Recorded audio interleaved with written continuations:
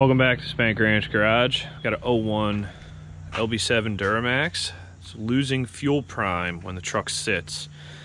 Uh, it's been getting worse. It used to be, you know, it'd sit two days, it would crank a little long. Now it sits an hour and it cranks a little long. So let's get into the troubleshoot and repair of this problem. All right, so we got our HP tuners plugged in here. We're gonna use this for our data logging. This line right here, actual fuel pressure and desired fuel pressure. So I haven't cranked the truck yet. It's cold, it's been sitting overnight. We want 430 uh, bar, which is about 6,200 PSI. Right now it's got 10 or so bar, probably not even real. So let's give this a crank and see if we make any fuel pressure.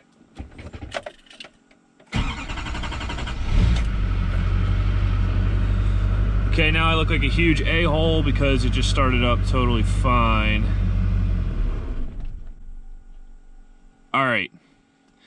So what do we learn here?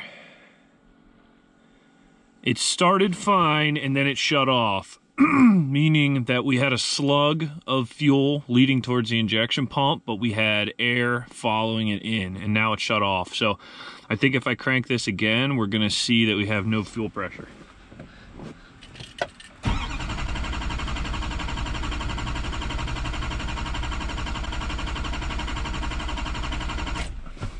Okay, so as expected, no more fuel pressure available.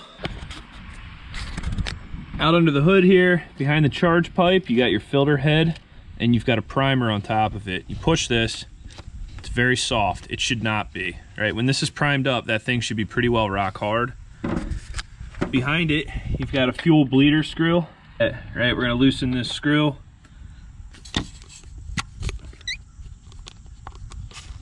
You can hear the air come out right there. I'll pump the primer a couple times. Now we have some fuel. So we were totally airlocked there. That's good. That's good to know and it's good to prove. The question is, how does that get airlocked? Why did this happen? And how do we fix it? So I pulled the upper engine cover off and the intake pipe off so we can kind of see what we're working with here.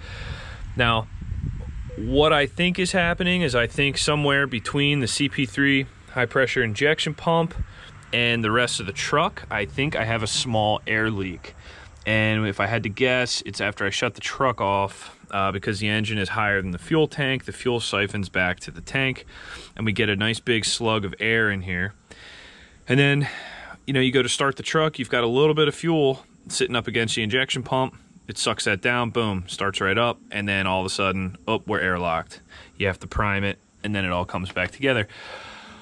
The interesting thing is, though, I don't have a fuel leak. So we have something that is allowing air to draw in, but not allowing fuel to come out. So that makes troubleshooting a little bit uh, more difficult, but I am hoping that we can find at least a wet connection or something that indicates uh, that we may have a leak there. Got my eyes on a suspect here.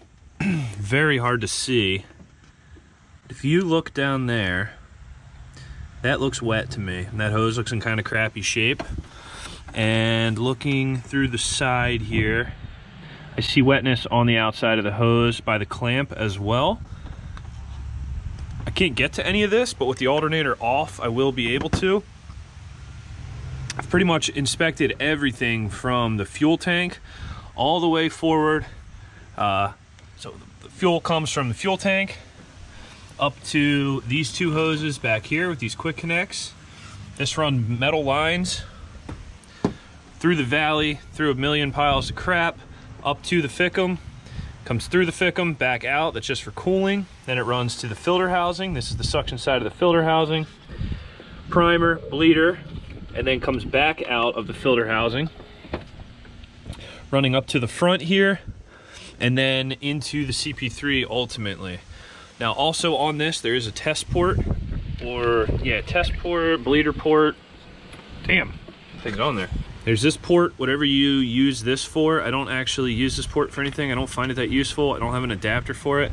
But anyway, there's flex hose, rubber flex hose on that as well that needs to be inspected. So uh, knowing that the whole bit of the truck looks good, up until this point, I'm gonna pull the belt off, pull the alternator off, and I think we're gonna find our leak under there. Had to pull the AC compressor off to get the alternator off. But now that we are down in here, you can see that, that shininess there is fuel residue. It's not enough to drip. There is fuel residue on it, and then up here, here we have the same story. There's fuel residue on that. So I think my best bet is going to be pulling this out, replacing this piece of tubing and putting new clamps on it. It looks old. I changed a lot of this when I did head gaskets on this truck, but I did not change everything. But overall, this whole valley-like area here does appear to have some fuel residue on it. This is taken out. I have not touched this clamp, and I'm able to rotate this banjo fitting in the hose. So, while that's not good, that's a good sign that we may have our, our issue here. This hose is just just beat so i'm to replace this i'm surprised i actually let this slide because uh, i remember i did replace so many hoses on this motor but that's the way it goes the one you don't replace is the one that ends up burning you luckily this one is just you know a couple parts off the top of the engine to get to it there's a couple hoses down in the valley uh, on the back of the cp3 that if those leak you're to have a really bad day so let's see if i have some hose in stock for this got a fresh piece of hose in here new crush washers on the FICM didn't have the clamps I wish I had, but I think these will do. So now I want to, well, first clean out the whole system with some brake clean so it's all dry in there. And then I'm gonna turn the key on, just let my lift pump run for 30 minutes or so. And that's gonna put this whole system under like four, four PSI or so. Um, with diesel and then we'll do a visual inspection for leaks again. I think this is gonna be it, but if it's not, we'll go deeper. All right, she's been running on the lift pump for about 40 minutes now. You can see everything here is absolutely bone dry as intended. So no obvious leaks there, not that we had an obvious one before. I'm gonna put the motor back together now, fire her up, make sure everything runs all right, and then we'll see if the problem has resolved itself.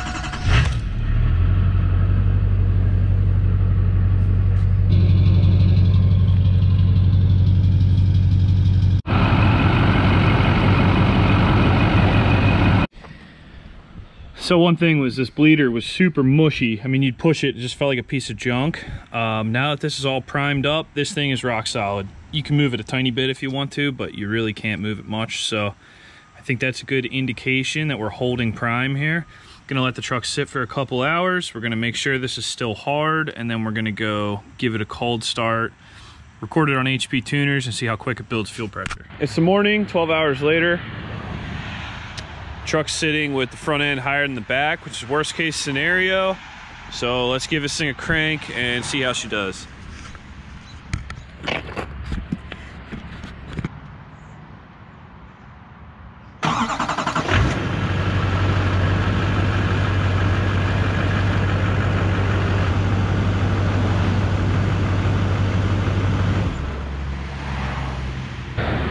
So that's it folks just one little piece of hose like this can park one of these trucks or give you a whole mess of headaches.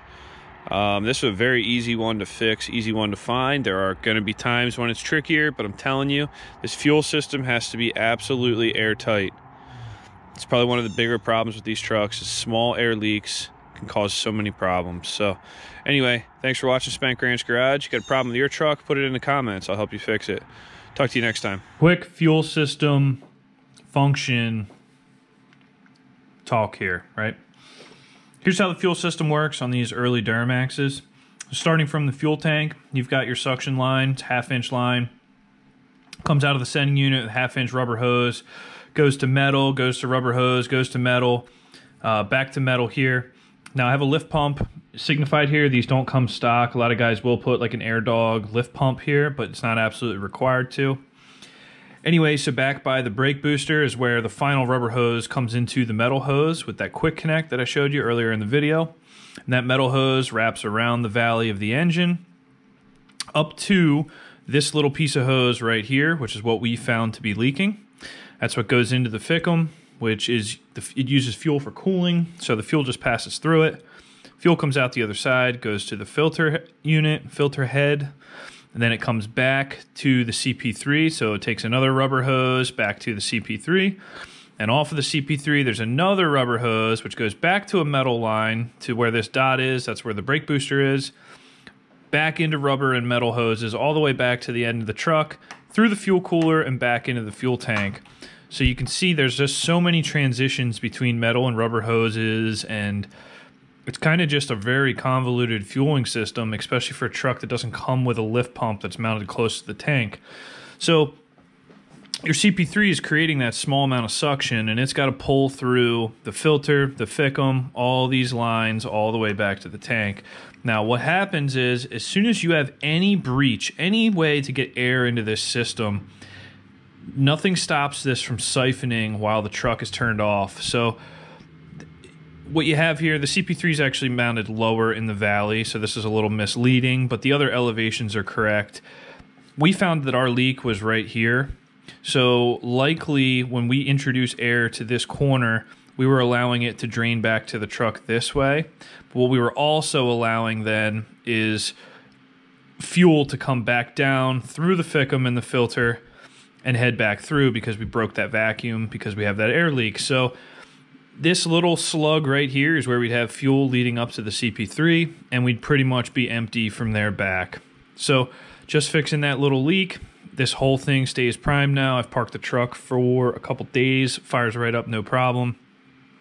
But anyway, you could have leaks at any of these points. They all give you pretty much the same result, but there's clues you can pick up along the way to try to target um, exactly where your leak is. So that's how that goes.